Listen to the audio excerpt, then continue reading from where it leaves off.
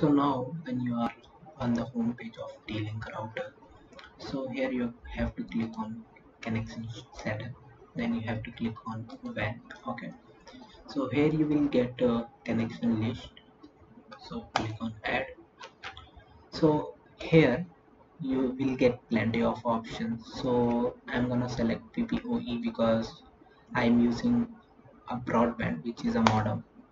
So we need a username and password to connect. So my username will be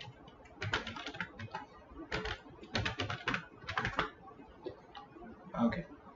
So you have to leave all those cities and it's up to your you if you want to fill this so I'm just gonna enter the service provider name. And yeah click on. Okay. So here uh, you will get this pop-up. So if in case your uh, PPOE connection won't work and if you do have another alternate connection like uh, if you are using another router which is already configured then you can click and you know create a new connection. But uh, I'm gonna skip it because I'm totally going to rely on this PPOE connection. So just skip on this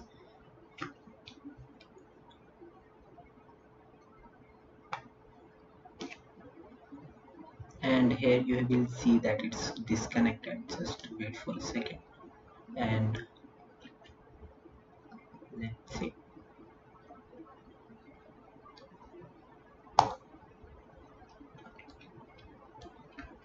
Okay so PPE PPOE connection does work and it's connected and let's now test the internet.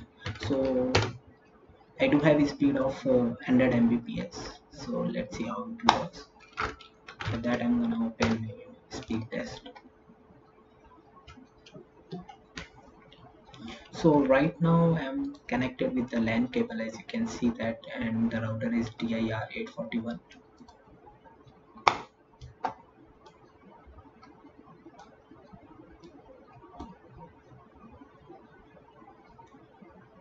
so this will be the internet speed I believe so let it complete